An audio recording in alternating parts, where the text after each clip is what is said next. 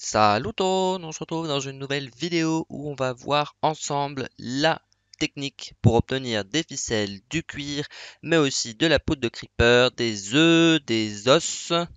Il faut savoir que sur Earth MC, le spawn des animaux et des créatures hostiles est désactivé, ce qui rend certaines ressources très très très rares.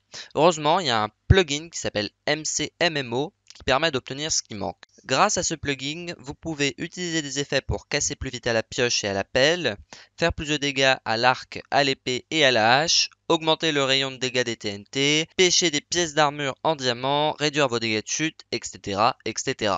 Ce qui nous intéresse, nous, c'est les niveaux d'excavation. Vous creusez et au bout d'un certain niveau, vous obtenez des trucs en plus. Donc à partir du niveau 250, vous avez 5% de chance d'obtenir un fil dans un bloc d'argile. Et les fils, c'est vraiment, vraiment bien parce que ça vous permet de pêcher en faisant une canne à pêche du stuff enchanté en diamant par exemple. Mais pas que, et ce qui nous intéresse plus nous, c'est le cuir. Et donc pour ça, vous avez une habilité qui monte en fonction de votre euh, rang et donc de votre niveau en pêchage, qui peut monter jusqu'à 75% de chance de pouvoir euh, shake un animal. Et si vous shakez une vache, vous avez 49% de chance d'obtenir du cuir.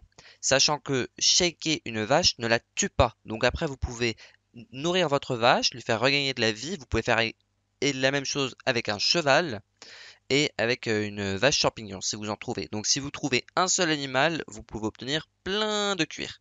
Pour les petits filous qui voudraient use bug, non, on ne peut pas obtenir des fils dans de l'argile que vous avez déjà miné et que vous avez reformé en bloc et reposé. Vous pouvez également obtenir des œufs et du silex en pelletant, donc de quoi faire des arcs. Tout est dit, allez creuser maintenant. Et abonnez-vous.